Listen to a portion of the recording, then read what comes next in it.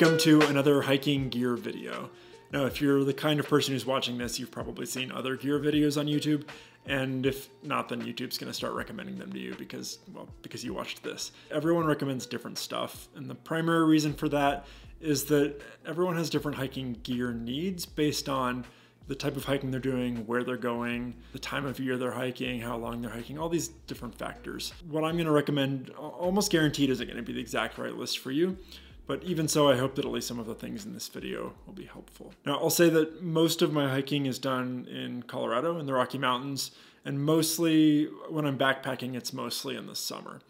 Now, when I say summer, it can still get down below freezing, and so it's it's very much mountain weather. And I, I tend to run pretty cold, so I err on the side of bringing more layers and warmer gear. One other probably unique factor is that I often bring up to 15 pounds of photo and video gear, which is very heavy. It's a lot. One of the projects that I'm working on is using an old Hasselblad medium format camera, and it's really heavy. So it makes sense for the rest of my gear to be as light as is reasonably possible.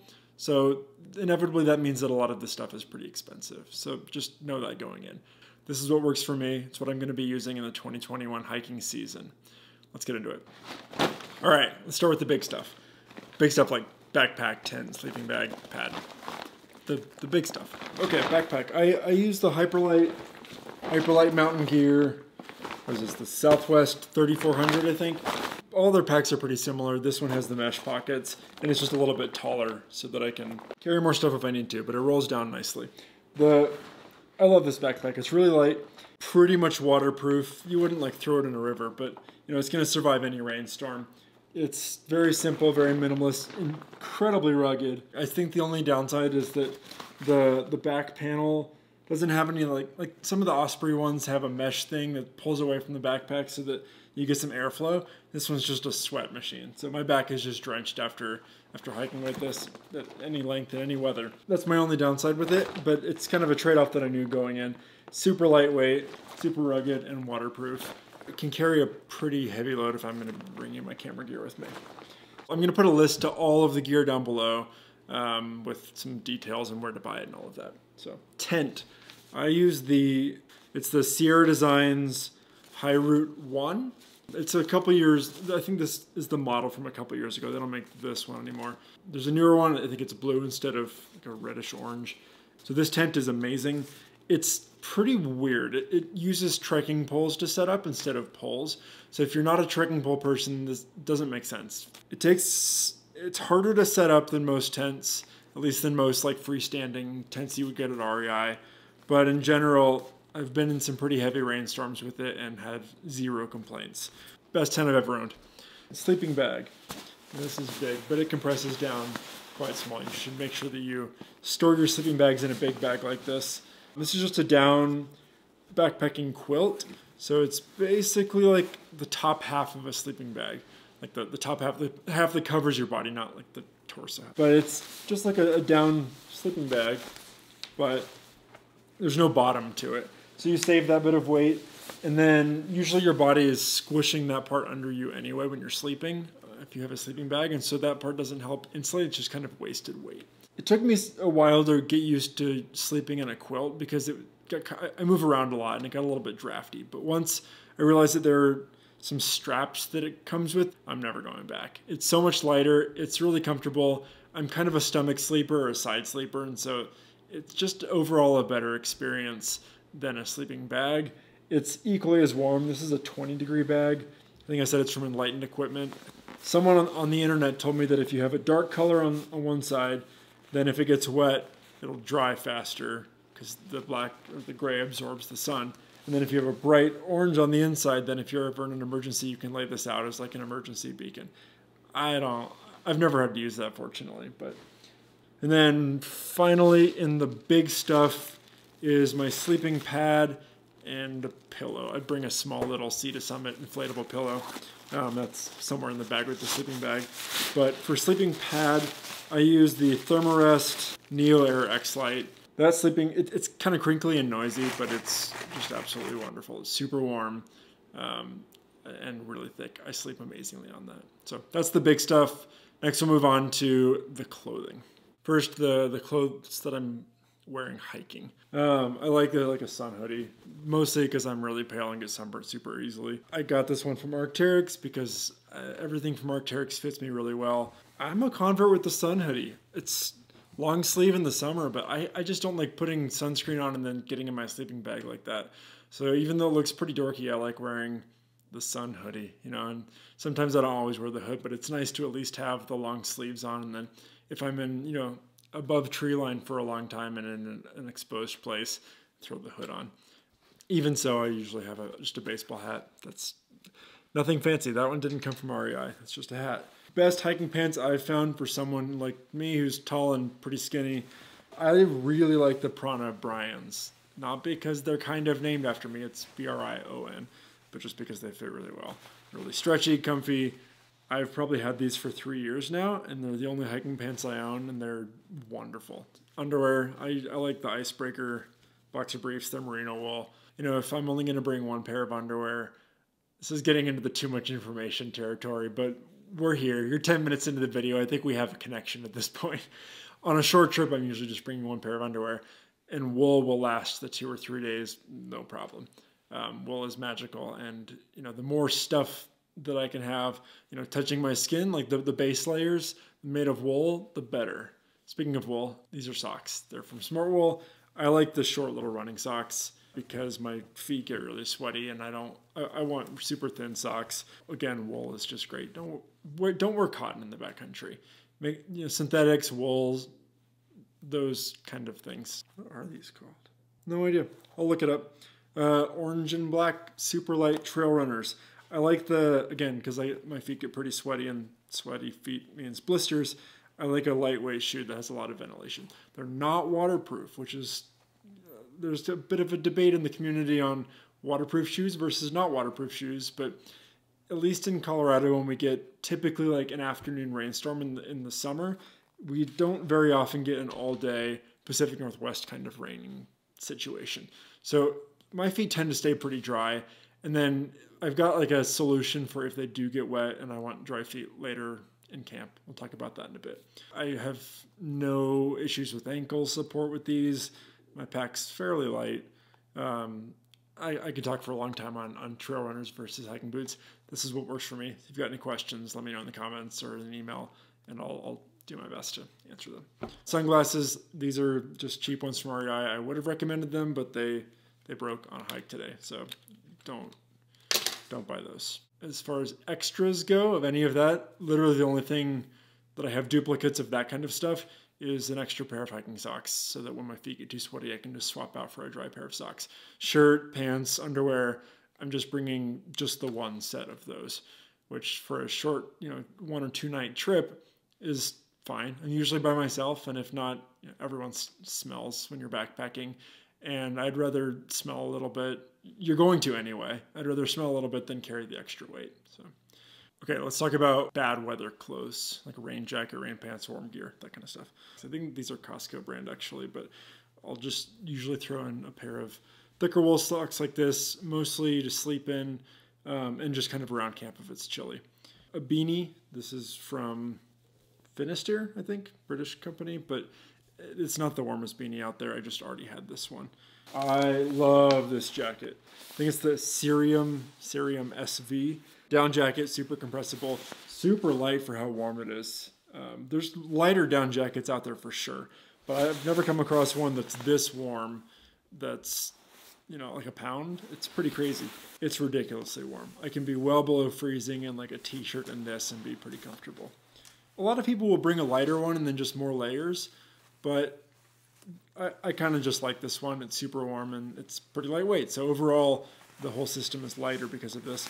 This is mostly for when I'm stopped, when I'm you know at camp or in the morning. This is great for me. Um, again, I run pretty cold, so I'm going to bring a pretty warm jacket. Merino wool thermals, so bottoms and tops. One of these is from REI and the other Smartwool. Ridiculously warm. I think that's the wool, and they're just a bit thicker. I love them. It keeps, you know what long underwear is. It keeps me warm. And then if it's at all chilly and I'm hiking and need something beyond just the, the t-shirt, I'll wear that as well. So I'll bring a, a rain jacket. It's the Arc'teryx something or other. Alpha something. I'll put it on the screen. Arc'teryx rain jacket, and then Arc'teryx rain pants. Depending on the forecast, you know, for a short trip, the weather forecast is going to be reliable enough to tell me if it's going to rain all weekend. I'll bring the pants or not depending on what the forecast looks like. Okay, now we'll talk about just kind of the rest of the stuff, the small things. Um, we'll start with food and water stuff. I'm not going to talk about the actual food that I'm bringing backpacking. I might do that another day, but to cook that food, I, will bring a Jetboil. It's not the lightest stove out there available, but it boils water ridiculously quickly, and for that, I think it's worth it. You can get my coffee in the morning a little quicker. The, the igniter went out, so I bring a, a small Bic lighter, but it's good to bring one of those anyway. And then I'll just eat out of this or out of the freeze-dried packet, and then drink my coffee out of the, the cup that's attached to the bottom. So that's a lot of tools in one. A spoon, I like the long handle spoon because you can reach into the, the freeze-dried food packets or into the Jetboil a little bit better without getting your hand all up in there and getting it dirty. As far as water, I'll usually bring an empty smart water bottle. They're cheap and really, really robust for the weight.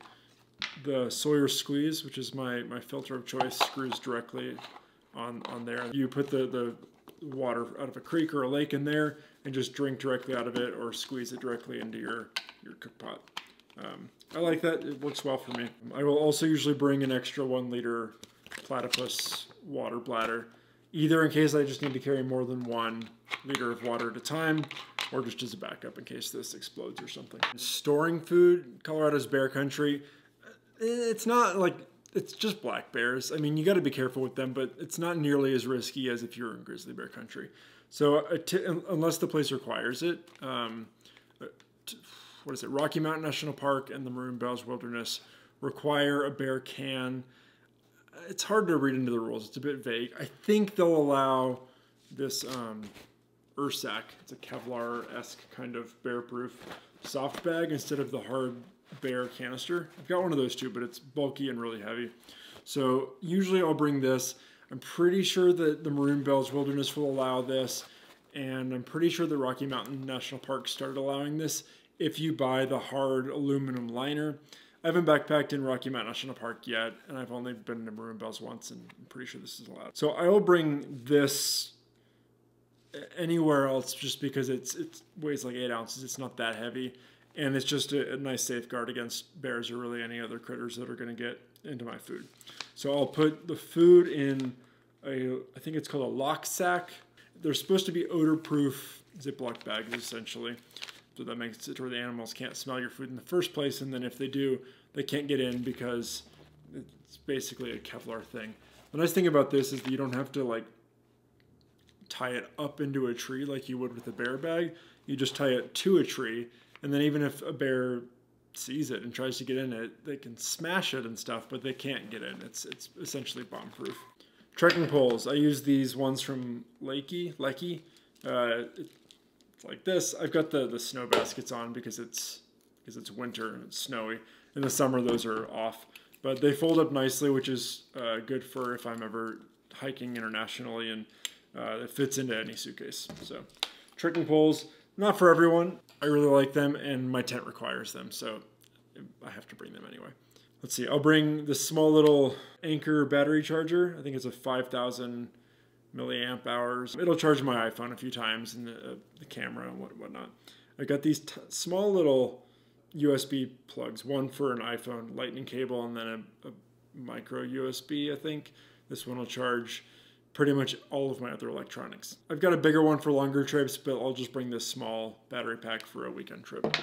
I'll bring an emergency mylar blanket. I've never used one before, but it weighs pretty much nothing and it's a nice option to have in case I ever get in trouble. First aid kit. My first aid kit is pretty minor because I'm not a doctor. I'm not really going to be able to treat much anyway. So I've got duct tape, which can solve most things, ibuprofen, anti-diarrheal pills, neosporin, gauze, and then repair kit for my sleeping pad is in here too. It's a, a fix me and a fix gear kind of thing. And then some moleskin kind of stuff. Chapstick, a little sunscreen. This stuff smells like, does it smell like Froot Loops or something? Yeah, this stuff is really fragrant and I'm sure just the bears would love this. So I need to find a better sunscreen one, but it's nice and small. Toilet paper, hand sanitizer, small Victorinox Swiss Army pocket knife. These are nice because it's got a knife, uh, nail file, screwdriver. It's a Swiss Army knife. It's got lots of tools. The scissors are nice for opening things. I've never needed more of a knife than this in the backcountry. I know it's tiny, but I'm just opening stuff and dealing with like, I don't know, small things. What else? Uh, headlamp. This one's nice because it's USB rechargeable. So I, you know, if, if, it happens to be low on battery, I can recharge it with uh, this USB charger. This one's super bright. You know, if I'm hiking at night, this is plenty bright. If you know you're not going to be hiking at night, you can go with one that's not as bright. Um, bandana, I used to always say, you know, I'd throw this in just in case, but I never used it. Now I use this as like a, a COVID, like a face mask thing when I'm backpacking and don't want to bring an actual face mask. Um, so who knew? All right, these are bread bags, just like the disposable plastic bags that a loaf of bread comes in. This is, I think I got this from Andrew Skurka. I don't remember. Basically, because I'm not bringing waterproof shoes, if it does rain a lot and my feet get wet and I want to have essentially a dry pair of shoes and socks to change into it at camp, I've got dry socks, but then if I put those in dry in my wet shoes, they'll they'll get wet. And so what I'll do, and I don't do this very often, only if it's really my shoes are really wet and it's cold, and I want to dry my feet off. I'll put the dry socks on, and then my feet in these bread bags, and then all of that feet and bread bag and sock mixture into the shoes. And it basically makes the a waterproof barrier between your socks and your shoes. I wouldn't hike in this. That would be really uncomfortable and sweaty. But around camp, it basically is the lightest pair of camp shoes that you can I don't use it very often because it doesn't rain that much in Colorado that often in the summer, but uh, I've used it a couple times and it, it, it works well. You know, I, I've at least tested it out and know that it works. All this small stuff goes in these two stuff sacks, both from Hyperlite Mountain Gear. One's a waterproof bag and one's just a regular one. The, the stuff that I don't need to be easily accessible goes in here, and that goes inside my backpack. And then the stuff that I want more easily accessible, like a toilet paper first aid kit, goes in this waterproof one and in an outside pocket that's pretty much the extent of my organization. Uh, toothbrush, toothpaste, in a plastic bag in case they explode. Poop shovel. This is the, what's it called? The Deuce. I got the number three because it's a little bit um, stronger because the, the ground out here tends to be pretty rocky and um, I don't want to break this. Um, but a shovel is important for proper leave no trace. I've got a Garmin InReach Mini satellite beacon it's kind of expensive, a few hundred bucks, and then it's like a, I don't know, seven or ten dollar a month subscription to be able to essentially connect this to your smartphone via Bluetooth and then send texts via satellite, so pretty much from anywhere in the world to anyone. And for me, especially because I do quite a bit of solo backpacking, this is worth it. An umbrella, I know this is bad luck to do, but whatever, it's 2020, what else can happen? Um, It's just a it's a super light backpacking umbrella. It weighs eight ounces. It's the the mylar, the shiny mylar outside is for sun protection. I don't use it for that very much because I'm not hiking in the desert, but it's a nice option to have. Basically, this is awesome for hiking in the rain. A rain jacket will keep you dry, and I, I bring one of those. But then the rain's still just kind of on you, and you're not really getting out of the rain. But this is for you know a half a pound, unless the forecast just says no rain at all, which in Colorado in the summer it rains most every afternoon in the mountains. So I'll bring this, and it's it's wonderful. I wasn't sure at first, but I'm a convert. This is generally worth the extra eight ounces, unless I'm really trying to cut weight. That's pretty much it. I'll bring my my iPhone. Uh, what is this? iPhone 10. Yeah, just the iPhone that I have. Uh, wallet and keys because I can't leave those in the car a belt sometimes if my pants are feeling kind of loose. Um, a friend occasionally, you know, when we're not quarantining. Oh, yeah, I'll also bring 15 pounds of camera gear, but that's kind of the topic for another video for another day. If you aren't subscribed to the channel, make sure you do so. I've got lots of hiking, photography, and travel videos coming up. So I'll see you in the next one. Bye.